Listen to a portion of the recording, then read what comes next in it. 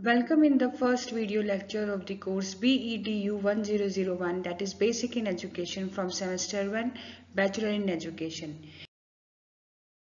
After Indian and Western concept of education, there is a modern concept of education which says that uh, education is nowadays learner-centered. The learner occupies the central place in the education process. Gone are the days where we used to approach an autocratic approach for teaching and learning. Modern concept of education means to develop the inherent capacities of the learner in the social environment in the best possible manner. The old curriculum that we used to have was subject centered whereas the modern concept of curriculum is activity centered because it emphasizes the development of total personality that is physical, intellectual, emotional, social aspect of the personality of the pupil. That means the modern concept of education says that where a student where a learner is going through all round development of his personality. The old method emphasized on rote learning, but the modern method of teaching include playway method, learning by doing, learning by experience, project method, experiential learning, constructivist way of learning, and there are number of ways through which a modern learner learns these days. School, earlier school was the only agency of education in the old concept but according to the modern concept of education all formal informal agencies are also the basis of education. Look nowadays we are learning through online mode so that is also a way of imparting the education. So if we have interest in painting, if we have interest in photography, we can go and enroll in some course and can get guidelines from there. That is also an, a new trend of education. Earlier, education was uh, decided as a bipolar process because it involves the interaction between the teacher and the pupil. In this process, one personality act upon the another in order to modify the personality of other. That means the teacher were more mature one who impart instruction to the student. But Nowadays, education has been converted into a tripolar process where teacher, pupil and social environments are connected to each other. It involves the interaction between the pupil, educator and the social environment. The teacher tries to develop the personality of the pupil in the light of the needs of the society. Education as a product and process.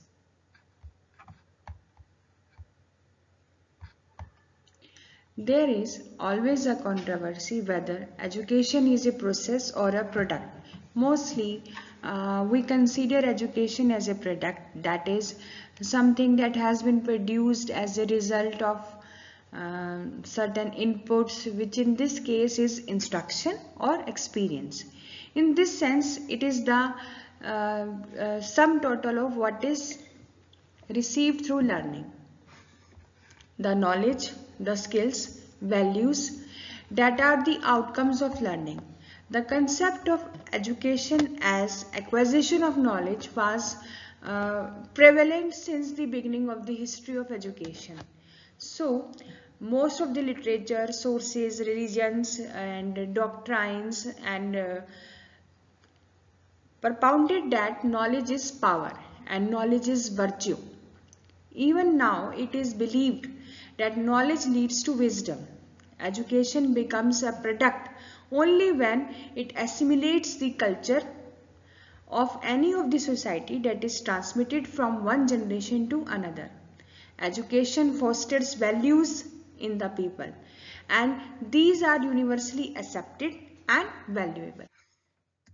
So, transmission of knowledge or skills which take place as a purposeful activity in a variety of ways could be termed as a product of education.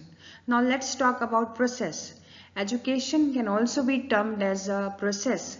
In this sense, we'll talk about that education is referred to as a act of developing the intellect, critical thinking, abilities, social and cultural understanding and understanding of one's own self so education here is considered as an active and dynamic process which take place continuously during one's life and by which we have various experiences through either in a formal or a informal manner.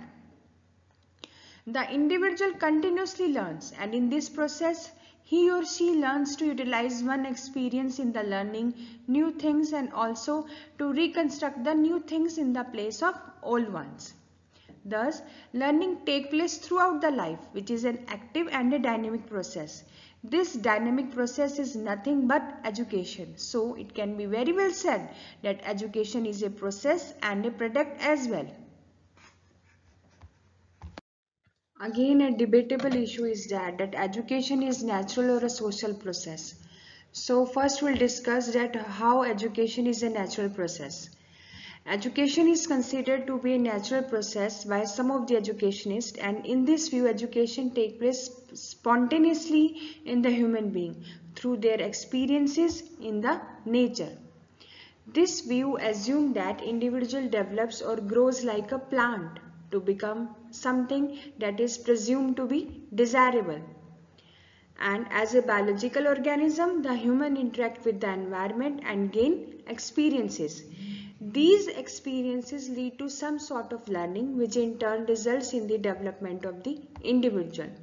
In other words, education becomes a lifelong process and the every experience the individual gain an understanding of the self as well as of the environment. So, uh, we can conclude that uh, education is a natural uh, process. Now another is that education is a social process. Process of education take place in social settings and every society as a whole exercise great control over its process. Every society uses education as a means uh, for promoting its own interest while education is uh, subjected to the control of the society. So we can very well say that education is a social process. Whereas education performs a threefold social function by maintaining, transmitting and creating social values, ideals, beliefs and culture. For this purpose, education provides a learning platform for the children to develop a variety of skills and other dimensions such as social interaction, emotional growth, physical awareness, awareness of life around us, and the intellectual and emotional disposition such as attitude and values. These values, ideals, goals, traditions, culture of the societies are inculcated in the child through education in order to make him an effective member of the society. So we can very well say that education is a social process but uh, it is not enough if there is just an interaction between the teacher and the children. There ought to be an active interaction among children. So to summarize we can say that education is both a natural and a social process whereas development of the uniqueness and individuality of the child is considered as every essence of the education at the same time initiating him or her into, into the society for which school prepares him. The individual means to an end and the end of the perpetuating the social order in the socialization process and the individual is an end by himself in this educative process. So we, we very well can said that it's, it's a natural process and it's end up to the social process. So, it is really life that educates us. Thomas Raymont said in 1906 that we learn from our own experiences. We learn from our surroundings. We learn from our environment. So, life always teaches us. So today in this video lecture we have studied the etymological meaning of education, narrow and broader meaning of education, Indian and Western concept of education and how in this modern era the new concept of education and how education is a both bipolar and tripolar concept.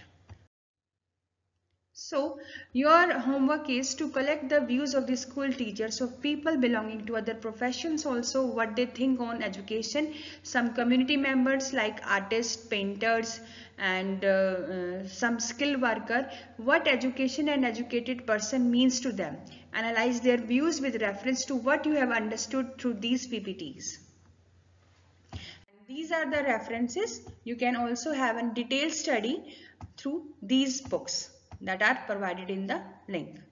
So in next video we'll study um, the uh, Gandhian philosophy and Tagore philosophy on education. Thank you. Have a safe day.